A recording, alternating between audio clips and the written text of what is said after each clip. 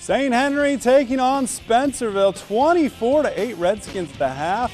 Dishing inside to Jackson Goki. He gets two for the Bearcats, give him some double digits. Inside again, Connor Holmes gets two to fall. Redskins so tough at home.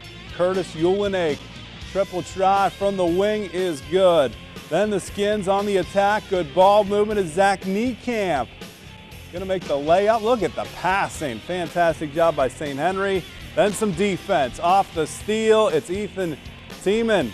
The hoop, the harm. Tyler Schlarman scores 16 points, 11 rebounds, 4 assists, 2 steals. Big win, St. Henry, 55 to 25. Just down the road.